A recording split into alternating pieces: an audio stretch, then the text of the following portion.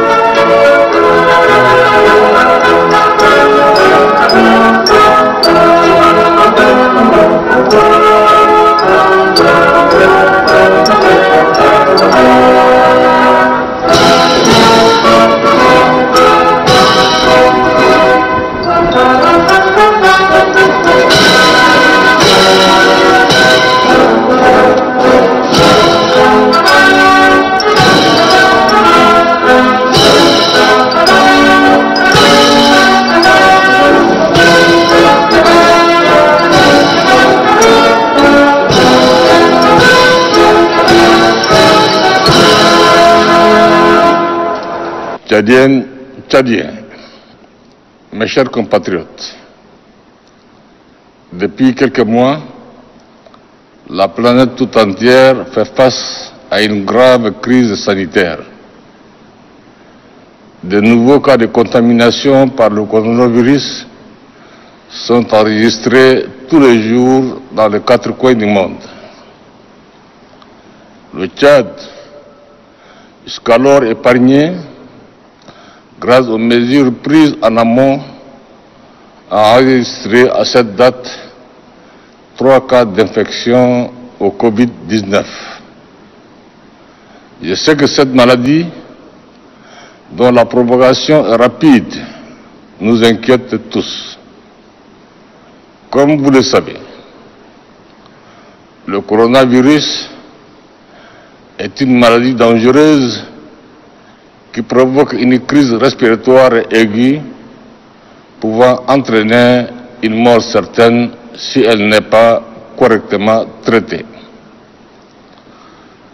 C'est pourquoi nous devons tous faire preuve de sérieux et de responsabilité pour une maîtrise rapide et efficace de ce fléau.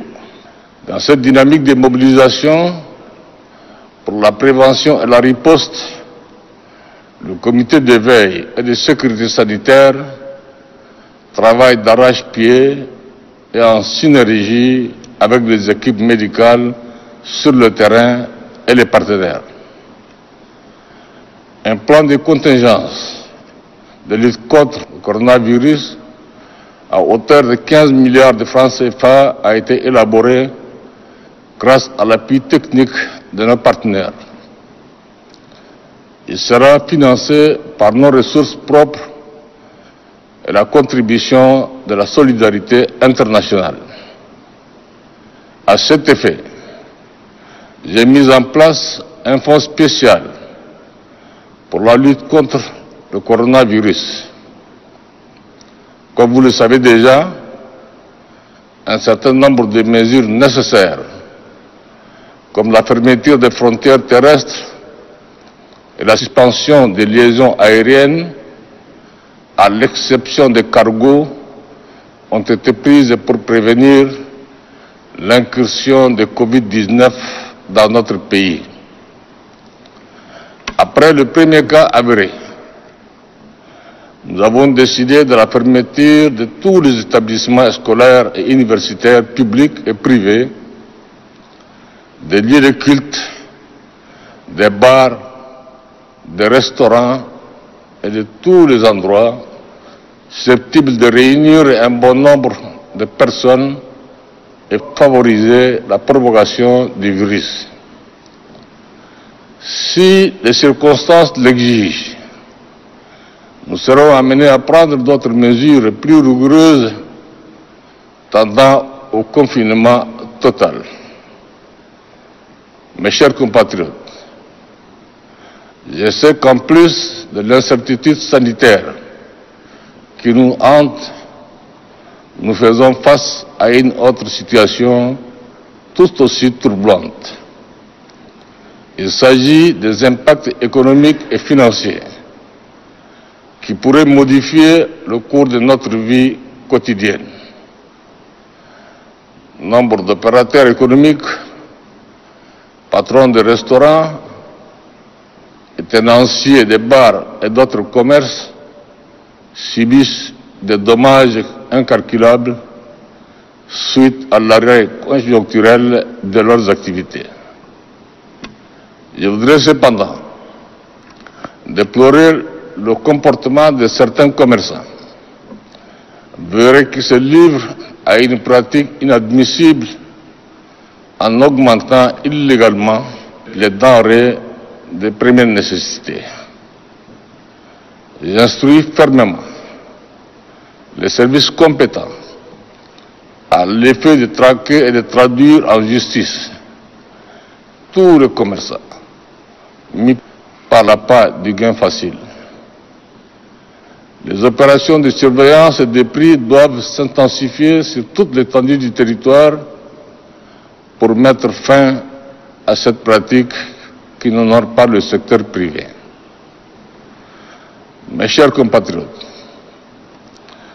en ayant une attention soutenue aux répercussions économiques de la pandémie, le gouvernement est fortement préoccupé par la fermeture des établissements d'enseignement. Nous mesurons pleinement les effets d'une plus ou moins longue période d'inactivité sur le calendrier scolaire et la consolidation des apprentissages. C'est pourquoi les ministres concernés sont instruits à l'effet de réfléchir et de proposer un scénario réaliste et adapté pour permettre à nos enfants d'achever leur année académique dans de bonnes conditions lorsque la situation sera rétablie. Tchadiennes, Tchadiens, fidèles à leur serment et à leur vocation, les médecins, infirmiers, ambulanciers, secouristes de la Croix-Rouge du Tchad, bref, tout le corps médical, s'investissent au quotidien en vue d'assurer la sécurité sanitaire de tous. Je salue ce sacrifice éminemment patriotique qui mérite la reconnaissance de la nation tout entière. Nous devons tous, à cet égard, être à la hauteur de l'engagement de l'ensemble de nos dignes acteurs de la santé en appliquant les différentes mesures préconisées. J'insiste sur les règles d'hygiène, à savoir le lavage des mains, qui est un geste simple mais extrêmement précieux pour la prévention de la maladie. De même, nous devons éviter de se serrer les mains en nous saluant et d'exposer nos frères, sœurs à nos éternuements. Il faut toujours maintenir une certaine distance, une distance de sécurité dans nos échanges interpersonnels. Chacun de nous doit être un rempart face à ce virus. Et il s'agit à l'évidence d'un impératif absolu qui en appelle à une responsabilité individuelle et collective. Je déplore à ce sujet l'insouciance caractérisée et l'incivisme manifeste dont font preuve actuellement certaines personnes. nous devons tous nous impliquer fortement dans la vulgarisation des messages de sensibilisation pour le changement de comportement tant attendu. Je vous invite vivement à traduire les messages de protection et de prévention dans nos différentes langues nationales pour atteindre un large public. Cette approche de sensibilisation et de communication est extrêmement importante dans la phase actuelle de la lutte, mais elle doit se faire en toute responsabilité. Nous notons, hélas, que les réseaux sociaux, au lieu de diffuser des informations de bonnes sources, authentiques et vérifiées, s'adonnent à la désinformation et à la manipulation, semant ainsi le doute et la panique. Je mets en garde tous ceux qui se livrent à cette pratique criminelle. Tchadiennes, Tchadiens, mes chers compatriotes, face à l'adversité, nous devons être vigilants, disciplinés, solidaires et unis. Je suis convaincu que le peuple tchadien, qui a traversé tant d'épreuves, saura sans nul doute se montrer fort face à la pandémie. Que Dieu bénisse le Tchad. Vive la République. Je vous remercie.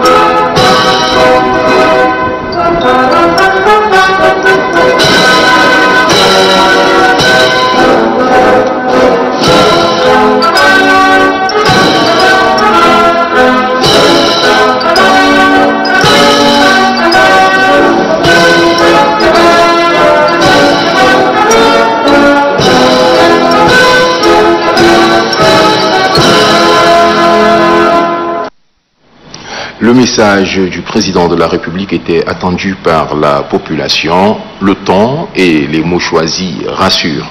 La lutte contre le coronavirus est l'affaire de tous. L'analyse du message par Ibrahim Adam Ahmad. La gravité du ton et le mot employé décrivent l'engagement, le fort engagement du président de la République de Débitno contre le Covid-19. Par le geste habillé de mimiques expressifs et par la mine adoptée, mais aussi l'intonation suffisamment solennelle, le chef de l'État explique que l'heure est grave. Le choix des mots n'est pas fortuit. Il explique la préoccupation du chef de l'État face à la propagation de la maladie dans notre pays. Trois cas déjà. La sonnette d'alarme est tirée pour demander à tout un chacun de s'imposer une discipline parce que c'est par elle qu'on pourra vaincre le coronavirus. Dans ses discours de 8 pages et 920 mots, le président de la République a été logique dans son argumentation, utilisant des mots servant de poteau indicateur pour que son message soit bien perçu par ses concitoyens. Il appelle à la solidarité et à la mobilisation générale pour vaincre ensemble cette maladie qui met en émoi toute la planète. Un message au contenu fort appelant la population à s'impliquer davantage dans la prévention en respectant les mesures salvatrices édictées par le gouvernement. Le Tchad qui a enregistré trois cas a pris dès le déclenchement de cette maladie une batterie de mesures pour la circonscrire. La fermeture de nos frontières terrestres et la suspension des liaisons aériennes ou encore la fermeture de commerces non essentiels, des lieux de culte et des établissements scolaires et universitaires participent de cette volonté du pays à maîtriser l'incursion de cette maladie. Le chef de l'État reste intransigeant sur le respect de ces mesures face à la propagation rapide du coronavirus. Si les circonstances l'exigent, le gouvernement sera amené à prendre d'autres mesures plus rigoureuses tendant au confinement total de la population, dira-t-il, comme pour attirer davantage l'attention sur les dangers qui nous guettent. S'il a insisté sur les règles usuelles d'hygiène adoptées, le président de la République appelle aussi à une responsabilité individuelle et collective face à la maladie tout en dénonçant l'insouciance caractérisée et l'incivisme manifeste dont font preuve actuellement certaines personnes, notamment sur les réseaux sociaux où la désinformation et la manipulation courent et qui sème ainsi le doute, la panique et la psychose. Il met en garde tous ceux qui se livrent à cette pratique criminelle. Vigilance, discipline et solidarité doivent être le leitmotiv de chacun et de tous pour vaincre le Covid-19.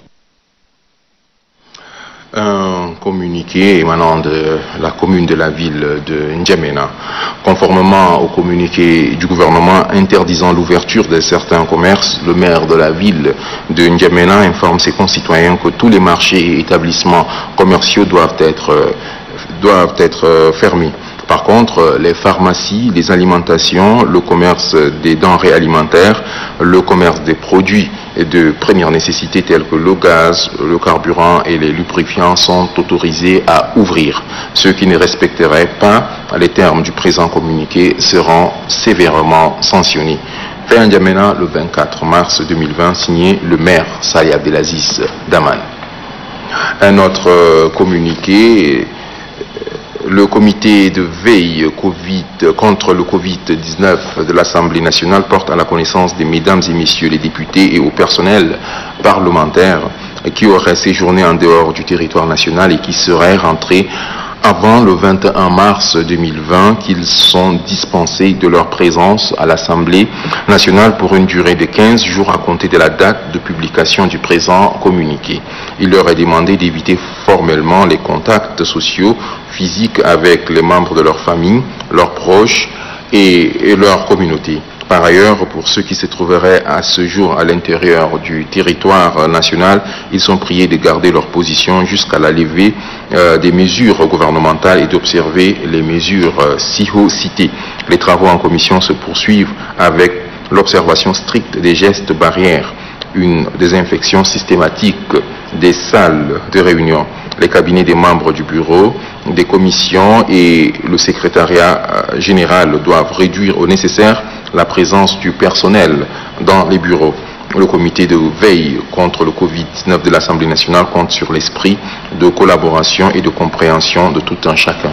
Fait N'Djamena, le 23 mars 2020, le troisième vice-président du comité de veille contre le Covid-19 de l'Assemblée nationale, le député Yombombe Majitolum Théophile. Le ministre de l'administration du territoire, Mohamed Ismaël Chaïbo, a rencontré les leaders religieux, les autorités communales de N'Djamena et le délégué général du gouvernement pour une communication relative au comportement récalcitrant d'une partie de la population par rapport aux mesures prises pour faire face au coronavirus. Je vous invite à suivre un extrait de sa communication. Depuis quelque temps, nous sommes dans une situation très préoccupante. Vous voyez ce qui se passe ailleurs, on ne le souhaite pas. On ne le souhaite pas, mais quand même, euh, c'est un fait réel. C'est un fait réel. Et euh, nous prenons toutes nos dispositions conformément aux instructions de son excellence Monsieur le Président de la République, chef de l'État, chef du gouvernement qui nous a instruits dans le comité de veille. Et là, il y a une permanence qui est là et déjà toutes les dispositions sont prises euh, par les collègues qui sont en charge de la santé et les autres ministères qui sont concernés aussi, et la coordination de le comité de veille. Et j'espère bien, en appliquant toutes ces mesures, euh, nous souhaitons, nous souhaitons qu'on puisse en tirer de cette situation. Nous voulons aussi que l'ensemble des Tchadiens prennent conscience du danger de cette maladie. On s'est rendu compte que le message a été passé aux différents confréries tchadiennes, que ce soit musulmanes, chrétiennes ou autres. En l'ensemble, ça a été appliqué. Mais on s'est rendu aussi compte quelque part, il y a quelques imams récalcitrants qui continuent encore à ne pas respecter ce qui a été dit. Et là, on vient d'instruire les délégués du gouvernement et l'ensemble des maires des arrondissements afin qu'ils puissent appliquer cette décision. Nous avons relié ces mêmes messages aux différents gouverneurs de province pour que les Tchad profonds puissent aussi prendre conscience de cette pandémie. On ne tergiverse pas. Les instructions sont claires.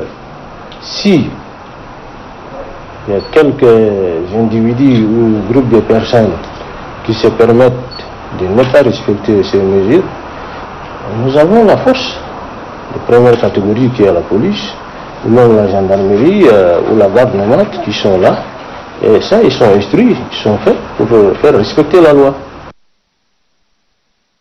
Lutte contre le Covid-19, le secrétaire général de la Confédération libre des travailleurs du Tchad, Ibrahim Ben Saïd, au cours d'un point de presse ce matin, a exhorté la population à respecter les mesures prises par les plus hautes autorités du pays pour empêcher la propagation du virus.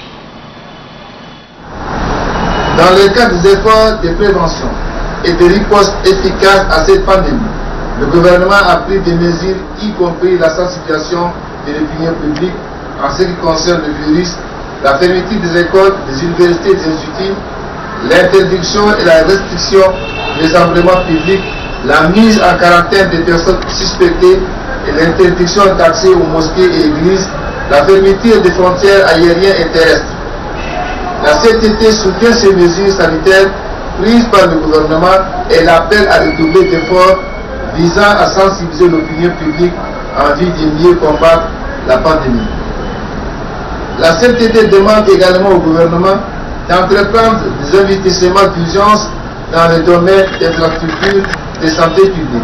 Et surtout d'assurer à la population l'accès à l'eau potable en vue de contribuer à la salubrité publique. La CTT appelle toutes les fédérations et les syndicats de base de la CTT à travailler en collaboration avec les employeurs en vue d'assurer à tous un milieu professionnel sain et sûr.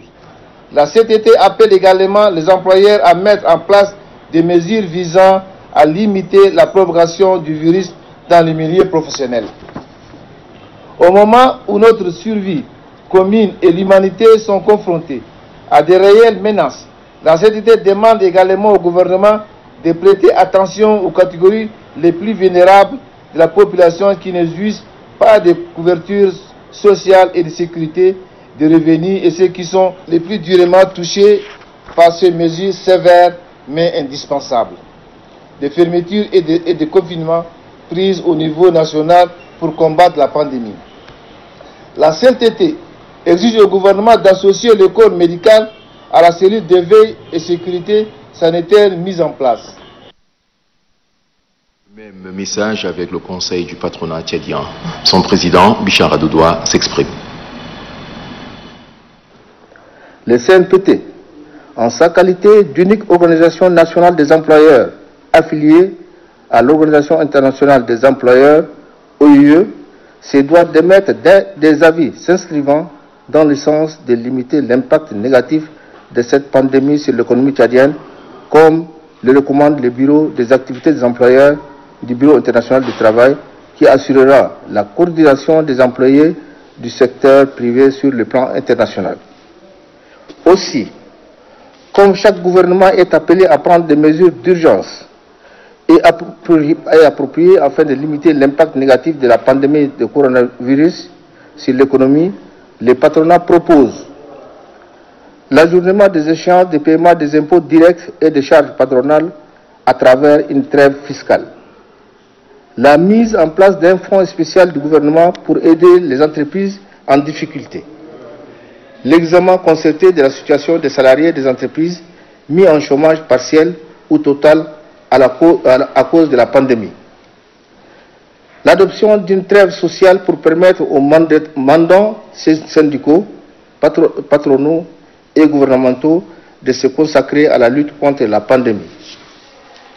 la mise en place d'un comité de crise réunissant les trois mandats du dialogue social afin d'élaborer une stratégie efficiente de sollicitation des bailleurs de fonds pour éviter la faillite des entreprises et juguler la hausse des prix.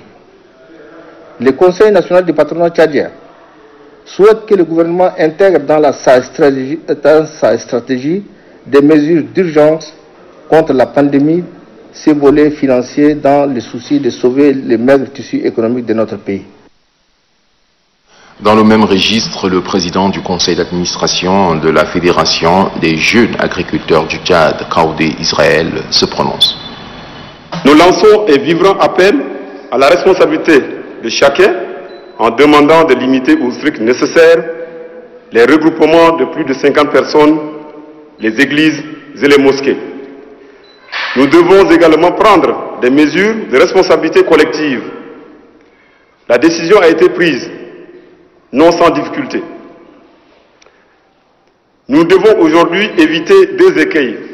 Ce virus n'a ni de passeport ni de visa. Il nous faut unir nos forces, coordonner nos réponses, coopérer ensemble, car la coordination tchadienne est essentielle, comme l'a recommandé le président de la République. La FJAT appelle tous les compatriotes à ne pas paniquer et à respecter les mesures d'hygiène. Dans la commune du 3e arrondissement de la capitale, le maire Idriss Sami Michaud a eu une rencontre avec les délégués des quartiers et les leaders d'opinion. L'ordre du jour, l'application des mesures prises par le gouvernement pour lutter contre la propagation du coronavirus. Falambi Soulgan.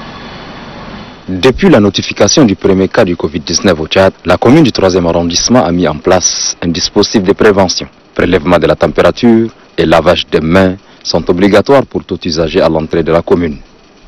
Le maire de la commune du 3e arrondissement, Idriss Sami Michaud, invite ses collaborateurs au respect strict des mesures et surtout à sensibiliser la population pour une prise de conscience.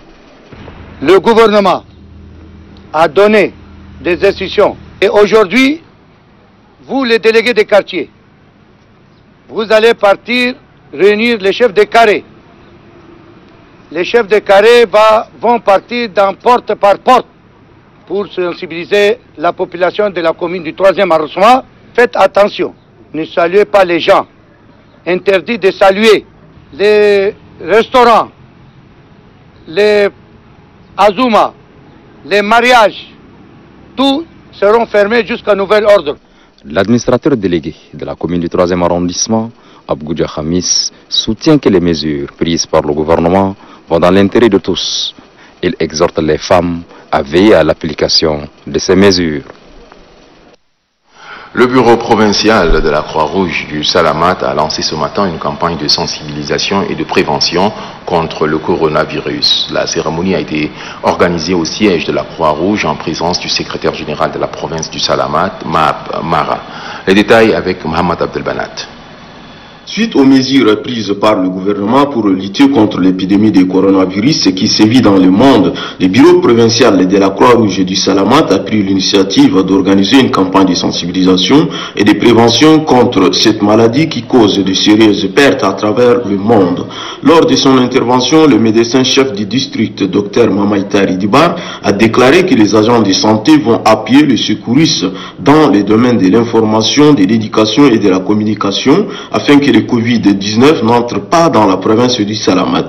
Il invite la population à respecter scrupuleusement les mesures d'hygiène. Le président de la Croix-Rouge du Salamat, Didou Ali Abatia, a fait savoir que cette campagne entre dans le cadre des mesures de prévention décidées par les plus hautes autorités du pays pour sauver la population. Il précise que son institution va informer la population pour que les mesures du gouvernement s'appliquent sans difficulté. Lançant officiellement la campagne, le secrétaire général de la province du Salamat, Mapmara, souligne que si les mesures prises par le gouvernement sont strictement respectées, elles permettent de limiter au maximum la contamination. Selon lui, prendre des précautions va aider la population à éviter la mort. Un sketch dont le thème est relatif à la campagne de sensibilisation a été présenté au cours de cette cérémonie.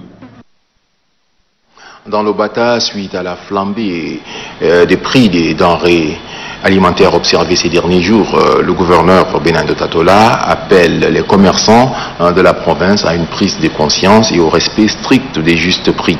Il a eu une rencontre avec les représentants des opérateurs économiques euh, ce matin. Mamad Tahir. Dans ce contexte de crise sanitaire liée à la pandémie de coronavirus, les prix des produits alimentaires ont augmenté sur nos marchés. Face à cette inflation volontairement entretenue par certains commerçants, le gouverneur du Bata, Benaido Tatola, tente d'y trouver une solution en convoquant à cette rencontre les représentants des commerçants de la ville d'Ati. Pour Benaido Tatola, cette hausse des prix des denrées alimentaires est injustifiée. En bon croyant, un commerçant ne doit jamais profiter sur les malheurs des uns pour s'enrichir illicitement et il leur conseille à être honnêtes et à aider leurs prochains car la population est vulnérable et ne peut s'adapter à cette spéculation. Et ces mesures doivent être appliquées à la lettre parce que c'est nécessaire et utile pour lutter contre cette dangereuse maladie qui est mortelle. Le gouverneur du Bata a profité de l'occasion pour rappeler aux opérateurs économiques qu'ils constituent le moteur des activités d'une province. Le Bata, souligne-t-il, est une zone d'élevage par excellence, mais ce secteur ne profite pas à la province. Aussi, les fausses déclarations en douane sont récurrentes. C'est une situation inadmissible qui doit s'arrêter. Les commerçants doivent en outre payer les impôts et les taxes pour permettre le fonctionnement des services déconcentrés de l'État, a-t-il conclu. Nous bouclons ce chapitre euh, consacré au coronavirus. Euh, la suite euh, de l'actualité est toujours en santé. À l'occasion de la journée mondiale de lutte contre la tuberculose, le directeur général du ministère de la Santé publique, accompagné du coordonnateur du programme national de lutte contre la tuberculose et le vice-président, non, la vice-présidente du réseau des parlementaires de lutte contre la tuberculose au Tchad, s'est rendu ce matin à l'hôpital général des références nationales. Objectif, soutenir le corps soignant et reconforter les patients. Mamad Suleiman. À l'instar d'autres pays du monde, les Tchad célèbrent la journée mondiale de lutte contre la tuberculose. À cette occasion, le directeur général adjoint du ministère de la Santé publique, Mohamed Hamid Ahmad, accompagné du coordonnateur du programme national de lutte contre la tuberculose, Omar Abdelhadi, et de la vice-présidente du réseau des parlementaires de lutte contre la tuberculose au Tchad, Selge Ashta Agidi, a visité l'hôpital général des références nationales, plus précisément les services de pneumologie. Objectif, encourager le corps soignant et apporter un réconfort moral aux patients. La visite a commencé par la pharmacie de cette direction. Ici, la délégation a eu droit à une explication technique sur la dose des médicaments recommandés aux patients. Pour les coordonnateurs du programme national de lutte contre la tuberculose, la prévention est importante pour éviter cette maladie. Le problème de tuberculose, c'est un problème réel au niveau du CPI. Il y a beaucoup de cas et selon l'Organisation mondiale de la santé, nous, sommes parmi les pays où l'incidence est élevée, mais en termes de notification des cas, il faut encore faire d'efforts. Parce que jusqu'à là, le dépistage est passif, c'est les vrais malades qui viennent au niveau de l'hôpital. Alors, tout le monde doit s'impliquer. Un seul malade peut en moyenne contaminer 10 à 15 personnes par an. La prise en charge des tuberculeux est l'une des priorités du gouvernement, affirme le directeur général adjoint du ministère de la Santé publique.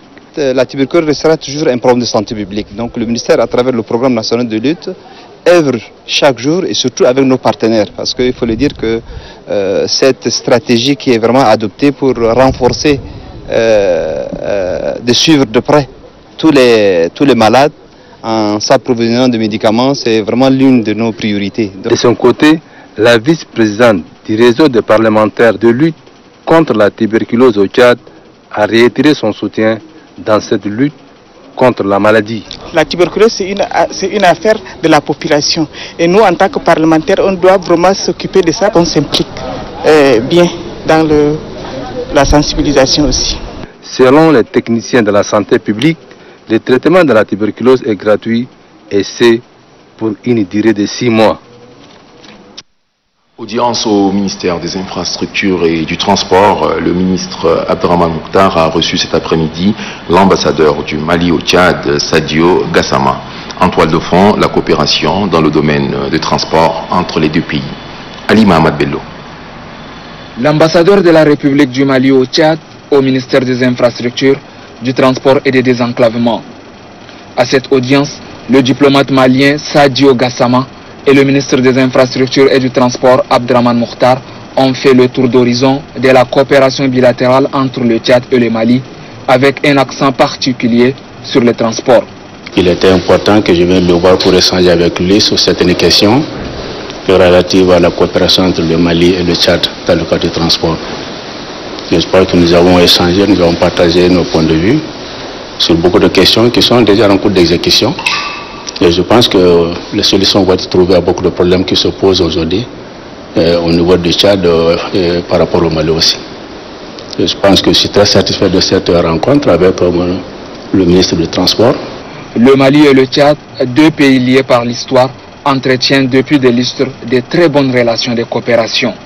Et les deux personnalités entendent œuvrer davantage pour leur renforcement. Toutes les élections consulaires de la CCAMA pour informer les opérateurs économiques sur l'ensemble du territoire national, le comité chargé des préparatifs des élections, par la voix de son président Saad Sherif Ahmed, a fait un point de presse ce matin. Suivez. Conformément au chronogramme arrêté par la Commission, les opérations de recensement en vue de l'inscription des opérateurs économiques sur la liste électorale ont débuté le 23 mars 2020 à N'Djamena. Pour s'étendre ensuite à l'intérieur du pays, dans toutes les provinces, elles dureront en moyenne une dizaine de jours. Aussi, les opérateurs économiques de N'Djamena, tous les secteurs d'activité confondus, sont priés de se présenter à partir de ce jour devant les équipes de recensement installées dans les locaux de la Chambre de commerce pour se faire enrôler.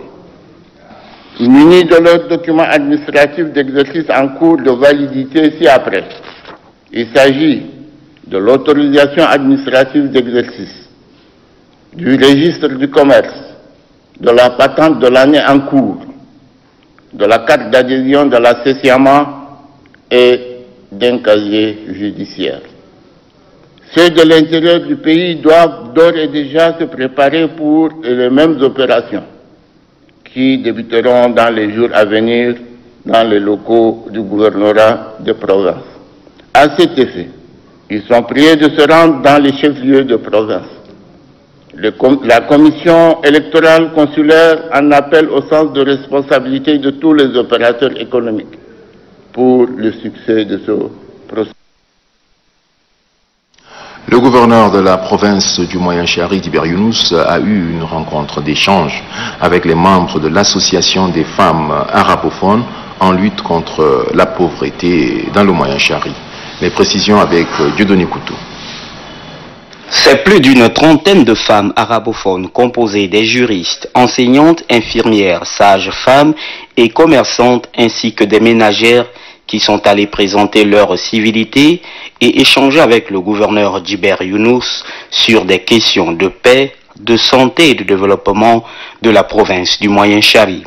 Présentant son association au gouverneur de la province du Moyen-Chari, la présidente de l'association des femmes arabophones de lutte contre la pauvreté de la province du Moyen-Chari, Madame Nafissa Abdoulaye Mahamat, a souligné que son association regroupe presque toutes les couches socio-professionnelles de la province du Moyen-Chari et a pour objectif primordial de prôner la cohabitation pacifique et le vivre ensemble. Très ému de cette visite d'échange et de partage, le gouverneur de la province du Moyen-Chari, Duber Younous, a aussi à son tour encouragé et félicité l'association des femmes arabophones de lutte contre la pauvreté de la province du Moyen-Chari d'aller de l'avant. Djiber Younous a fait comprendre à ces dernières que le chef de l'État Idriss Déby Itno accorde une place de choix à la femme tchadienne qui contribue essentiellement au développement socio-économique du Tchad entier. Dans l'Oguera, la Fondation Grand Cœur a eu une mission sur le terrain, un tour à Bitkin et Melfi. Abdul Kayoul. Des femmes de la ville de Bitkin et de Melfi se spécialisent en couture. Après leur formation, elles mettent en pratique les notions apprises en maniant avec dextérité les machines à coudre mises à leur disposition par la Fondation Grand Cœur. Je dis vraiment merci à Grand Cœur et je suis très contente d'être machine et beaucoup, ce qui m'a beaucoup rendu contente là, c'est la machine à tricoter là. Pour avoir ça là, c'est un problème. C'est un problème. Donc vraiment, si les femmes se donnent, elles vont vraiment aller à la, de l'avant avec cette machine à tricoter. Faire le suivi de dons offerts aux femmes et encourager celles-ci dans leur autonomisation, c'est le mobile du déplacement du chef de mission de la Fondation Grand Cœur, Mamad Iba Ousmane, dans la ville de Bitkin et de Melfi. Vu les difficultés des femmes des départements d'aller jusqu'à Mongo pour apprendre la, couture, la première dame, présidente de la fondation, a bien voulu, euh, a, réfléchi autrement. Elle a dit non, euh, je ne vais pas voir euh, mes soeurs souffrir. Au lieu de faire le déplacement du département d'Apture, aller à Mongo, apprendre le guerra, moi j'installe le centre à, à, à Bitkin pour permettre à mes sœurs du département d'Apture, de venir apprendre sur place. Les autorités du département d'Apture et de Barsianka ont pour leur part exprimé leur gratitude à la présidente de la Fondation Grand Cœur, Hinda Debitno, pour l'attention particulière accordée à la femme rurale. La commune du premier arrondissement a tenu hier matin dans ses locaux sa session budgétaire pour l'exercice 2020. À l'ordre du jour, l'examen et l'adoption du budget. Ngayam Bengueri. Le budget primitif pour l'exercice 2020 de l'exécutif communal du premier arrondissement est soumis aux conseillers municipaux pour son adoption. Il s'élève en recettes et en dépenses à plus d'un milliard 449 millions de francs CFA contre plus d'un milliard 201 millions de francs CFA, soit une augmentation de 20,6% comparativement à celui de l'année 2019. En prenant part à cette session, vous contribuez à écrire une page mémorable de l'histoire de notre commune du premier arrondissement. Je vous exhorte alors à aborder ce budget dans différents chapitres, les différentes sections, les articles, avec beaucoup de sérénité et de perspicacité dans un climat de compréhension, de fraternité, afin d'aboutir à un échange de débats riches, constructifs. Les conclusions seront bénéfiques pour la population. Selon le maire de la commune du premier arrondissement, Djibril Mahmoud Abdelkirim, ce budget, une fois adopté, permettra à la commune de se doter des moyens adéquats pour réaliser ses ambitions afin d'assurer le bien-être de la population. Et ce, grâce à l'orientation stratégique du conseil municipal.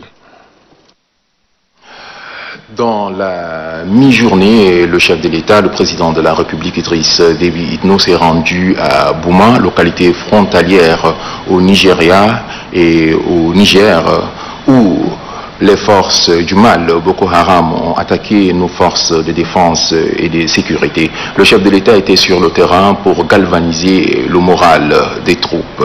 À l'issue euh, de cette descente sur le terrain, le chef de l'État s'est confié à la presse. Il a lui-même présenté euh, le bilan de cette attaque.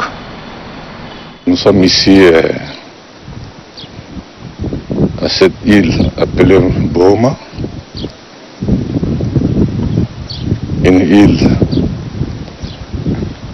Dans la, la province de la Tchad. C'est une île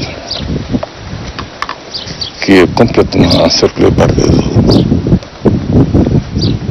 Et euh, pour la protection des populations, nous avons estimé nécessaire en son temps de mettre une unité de forces de défense et de sécurité pour sécuriser les populations de ce village appelé village bohème. Comme vous le savez, cette unité a été dégarnie un peu pour des raisons opérationnelles ou pour des besoins opérationnels ailleurs. C'est là, cette île maudite, que nous avons perdu 92 de nos soldats sous-officiers et officiers. Je suis bien venu m'incliner devant leur mémoire ici. De dire aussi aux Tchadiens, non seulement nous avons connu des morts, mais nous avons aussi des blessés, 47 blessés, qui ont été transportés par nos propres moyens à N'Djamena, soins intensifs, certains. Cette action de Boko Haram, et je dirais que c'est pour la première fois. J'ai assisté à beaucoup des opérations, j'ai mené beaucoup des opérations, mais en un seul coup, perdre autant d'hommes dans l'histoire, c'est pour la première fois. Et je suis pour ça écrit. Nous allons revoir tout notre dispositif. Revoir tout notre dispositif pour éviter ce que Boma a connu. Et je voudrais dire aussi aux Tchadiens, jusqu'au dernier mort, y compris les blessés, ils n'ont pas cédé le terrain. Ils ont gardé le terrain. Ils se sont accrochés sur ce terrain. Il y en a qui sont morts. D'autres blessés, nous les avons enlevés d'ici. Personne n'a fui. Ce sont des valeureux membres des forces de défense et de sécurité qui ont fait leur preuve dans toutes les opérations au Tchad et ailleurs. Ce sont des anciens. Ce sont des, des grands hommes, des guideurs. Ce sont ceux-là qu'on a perdu. Paix à leur âme. Le chef de l'État était au micro de Nassour euh, Nouditi. Nous allons revenir en images dans nos prochaines éditions. Maintenant, nous allons nous intéresser encore euh, aux sessions budgétaires, euh, sessions budgétaires dans la commune du 10e arrondissement de la capitale. Le budget ici est à la baisse contrairement à l'année 2019. C'est l'administratrice déléguée auprès de la commune du 10e arrondissement, Koubra Choukou Sultani, qui a présidé la cérémonie. Les détails avec Christelle Garlomdana.